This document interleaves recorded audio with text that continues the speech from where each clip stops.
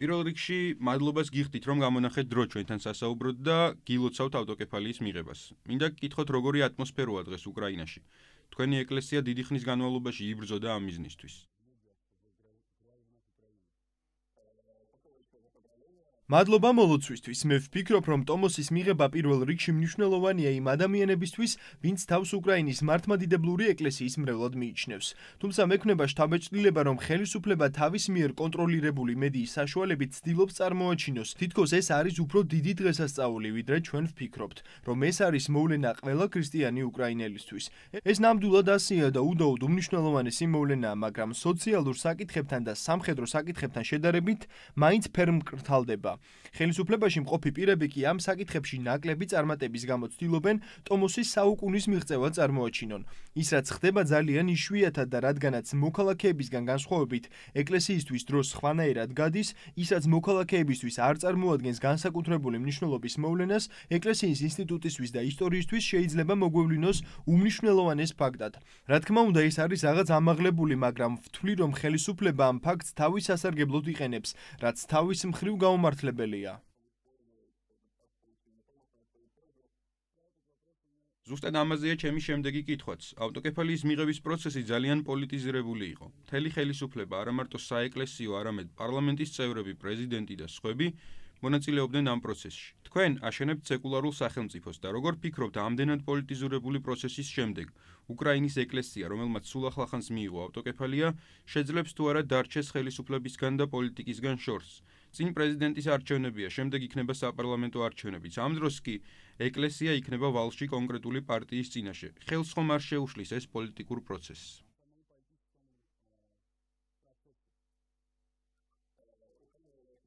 უკრაინა კონსტიტუციის მიხედვით სეკულარული სახელმწიფოა. მიუხედავად ამისა, უკრაინის დამოუკიდებლობის განმავლობაში არასდროს არ ყოფილა ეკლესია სრულად დამოუკიდებელი ხელისუფლებისგან და პირიქით ხელისუფლება ეკლესიისგან. ეს არ არის ახალი თვისება უკრაინული პოლიტიკისთვის. ნამდვილად იყო პროცესში პარლამენტი და პრეზიდენტი ჩართული, რადგან ამ პროცესში საერთო ხელისუფლების მონაწილეობა აუცილებელია. ისინი წარმოადგენენ და საუბრობენ ხალხის სახელით. არის შიშები, რომ ახალი ადგილობრივი ეკლესია სახელმწიფო ეკლესიად გადაიქცევა. რა თქმა უნდა, კონსტიტუციურად და სამართლებრივად ასე არ გაფორმდება, მაგრამ გავლენა ეკლესიისა სახელმწიფოზე და პირიქით არის და გაიზრდება. რა თქმა უნდა, არჩევნების დღეს პოროშენკო ეცდება გამოიყენოს ეს ეკლესია, მაგრამ ჯერ მას იმდენად მცირე მრევლი ყავს ოფიციალურად, რომ არ ამგონია მღვდლებმა საკუთარი მრევლის საშუალებით რაიმე გავლენის მოპოვება შეძლონ ამ ეტაპზე.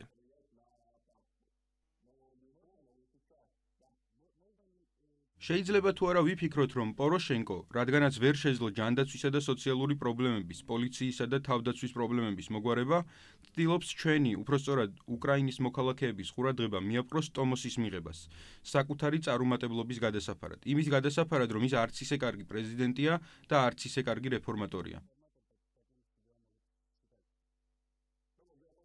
საქმე ისაა, რომ პასუხისმგებელი ბევრ საკითხზე არის არა მარტო პრეზიდენტი, არამედ მთავრობაც. პრემიერ-მინისტრიც ყავს, რომელიც ასევე პასუხისმგებელია ყველა წარუმატებლობაზე. ამ შემთხვევაში პრეზიდენტის კამპანია ეფუძნება იმას, რომ ყველა ჩვენი გამარჯვება ეკონომიკური წარმატება თუ უვიზო რეჟიმი და ტომოსის მიღება, რა თქმა უნდა, ამ არჩევნებზე პოროშენკო სასარგებლოდ ითამაშებს როლს და მთელი ყურადღება ამ წარმატებებს მიეპყრობა. ეს წარმატებები, რომლებიც ხალხისთვის მნიშვნელოვანია, ჩაითვლება პოროშენკოს წარმატება და სწორედ ამას ეფუძნება პეტრი ალექსეიძის კამპანია. არმია, ენა, რწმენა. ეს სამი სიტყვა სიამაყეზე მიუთითებს და იყენებს პოროშენკო თავის კამპანიაშიც.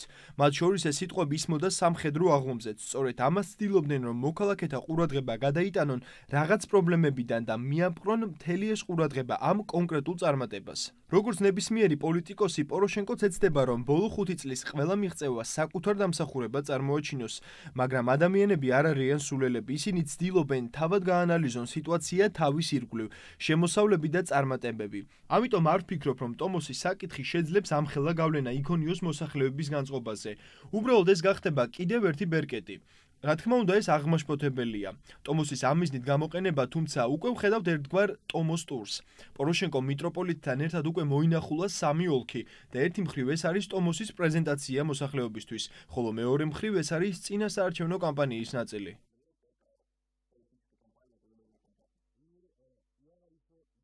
მინდა გკითხოთ ქართულ-უკრაინული ურთიერთობების შესახებაც. როგორ იცვლება თქვენი განწყობა ჩვენ მიმართ იმის გათვალისწინებით, რომ საქართველოს ეკლესიას არ დაუფიქსირებია საკუთარი პოზიცია და ხელისუფლებაც პირდაპირ ვერ ულოცავს უკრაინელ ხალხს?